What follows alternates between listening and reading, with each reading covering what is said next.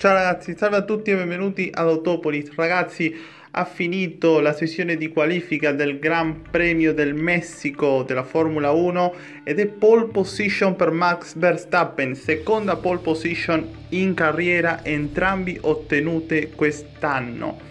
Non solo quello ragazzi, sino che Max Verstappen ne ha fatto una pole con un 1.14.758, il record dell'anno scorso 1.14.759 incredibile ha battuto il record dell'anno scorso per quasi niente. Dopodiché ragazzi una sessione di qualifica abbastanza mm, abbastanza interessante dai. Eh, la cosa principale quello che ha colpito un po' di più diciamo così quell'incidente di Bottas all'ultima curva nell'ultimo intento di qualifica. Eh, una cosa strana ma che può capitare, c'è tanta pressione dei Bottas che questa è l'ultima gara in cui lui può farne qualcosa per evitare che Hamilton diventi campione, cosa che altamente ragazzi improbabile. Cosa dice ragazzi il passo gara per domani? Domani ci dice che la Ferrari ha una velocità massima elevatissima, dovrebbe essere la macchina a battere per domani. Vediamo meno come va la cosa ma in teoria andrebbe così. La Red Bull è la macchina più veloce nelle curve di media velocità, invece eh, la Mercedes è la macchina più veloce nelle curve che sono ad alta velocità. Vediamo come va ragazzi a finire per domani che diciamo così credo che sarà una gara abbastanza interessante da vedere. Allora, i risultati: primo Max Verstappen, secondo eh, Charles Leclerc che ha fatto una buona sessione di qualifica tranne per quell'errore magari avrebbe potuto finire davanti eh, un errore nell'ultimo settore nell'ultimo intento di qualifica. Una pista tra l'altro che non era molto ma molto gommata per la pioggia. Ma va bene ormai eh, non è male. Parti in seconda posizione in questo tracciato. La velocità massima della Ferrari è così alta che magari anche meglio Dopodiché terza posizione per Sebastian Vettel, quarta posizione per Lewis Hamilton, uh, Lewis Hamilton che ora vediamo com'è, ma mi sembra che sarebbe molto... Non credo ragazzi che Bottas non riesca a partire... Mm, sicuramente Bottas se ne beccherà qualche penalità, per me la macchina qualche cosa sicuramente si avrà rotto. Cambio, è molto strano che non si abbia rotto il cambio, ma vediamo. Per me è già quasi vinto il campionato per lui. Quinta posizione per Alex Albon che, bene Albon, un, davvero, non ha finito davvero non male per Albon. 5 decimi da, da Verstappen, che Verstappen è un mostro, eh, non è male, quindi bene per, per lui. Sesta posizione per Bottas che vediamo dove parte domani di nuovo. Dopo questo schianto, dopo quella botta sicuramente ci si dovrà, dovranno fare qualcosa. Dopodiché um, eh, settima posizione per Sainz, molto bene Sainz, 1.16 e 0, 1.16 e 3 per Norris. Tutti questi piloti ragazzi partono con la media. Eh, entrambi quindi vediamo come va ma eh, la strategia dovrebbe essere abbastanza simile per tutti loro.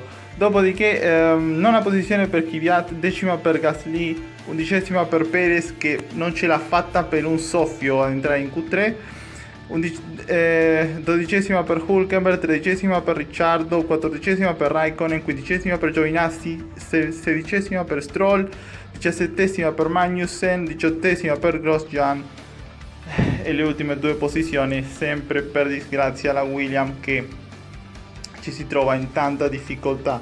Non solo questo ragazzi se no che guardate il delta 1.20 per cubica contro 1.14 che è la pole position sono 6 secondi è, è un delta altissimo praticamente le macchine sembrano di, di un'altra categoria. Eh, beh cosa dire aspettiamo che la Williams riesca a migliorare un po' bene vi do qualche news, notizia di questa settimana, magari notizie interessanti che molti di voi non sapevate, magari sì. Eh, la Renault ragazzi è stata squalificata dal Gran Premio di Suzuka perché sistema, ha utilizzato un sistema di freni che si regolava automaticamente via GPS. una cosa strana perché è stata squalificata per una gara, ovvero non lo so, non devono utilizzarlo più il sistema, ma sembra che sia legale. La FIA ha fatto un casino con questo sistema che non si capiscono né loro, nemmeno loro. La realtà dei fatti è che questo sistema l'ha utilizzato la Renault in certe occasioni già dal 2015, l'ha detto Grosjean, quindi Gran Premio del Belgio 2015, mi sembra Grosjean è arrivato terzo, ha detto che ha utilizzato questo sistema qua. Quindi bene la FIA per la coerenza che continuino così. Un'altra cosa ragazzi, saltano, sembra che saltano le regole del 2021, eh, la data era il 31 di ottobre, quindi quasi sicuro non ci sarà nessun consenso, quindi queste regole andranno a finire chissà dove. Cosa accadrà nel 2021? Boh, non lo sa nessuno. Eh, ma realmente ragazzi importa quello che dica la Ferrari questa è la realtà dei fatti se la Ferrari non piacciono queste regole allora non accadrà niente Dopodiché nemmeno la Ferrari gli piace, nemmeno la Red Bull, nemmeno la Mercedes, che non vogliono perdere tanto questa cosa dello status quo. Vi dico un'altra cosa, comunque come vada vada non c'è interesse di nessun altro costruttore in entrare nella Formula 1. Hanno detto già che in queste Power Unit non voleva entrare nessuno, ma comunque le Power Unit come vada vada continueranno. Tra l'altro si crede che queste macchine diventeranno almeno 3 secondi più lente, quelle macchine del 2021 vediamo come va ragazzi, non lo so. Era, sono regole molto generiche, questa cosa non era buona.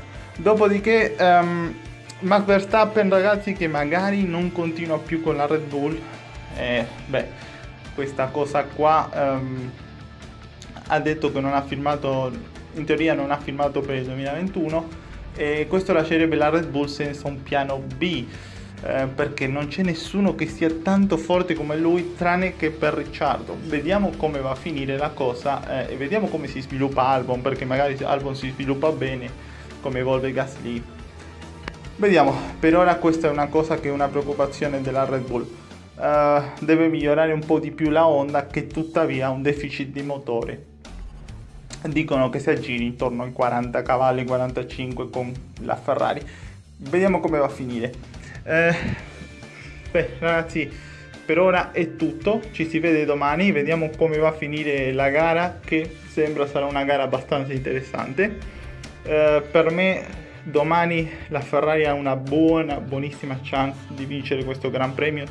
Se non ci sono errori di strategie, un incidente al via o qualcosa di strano ma vediamo se il tempo accompagna, il meteo accompagna, questo è un tracciato in cui la Ferrari va davvero molto forte, ragazzi in scia c'è da vedere perché magari anche ci si può battere il record di velocità.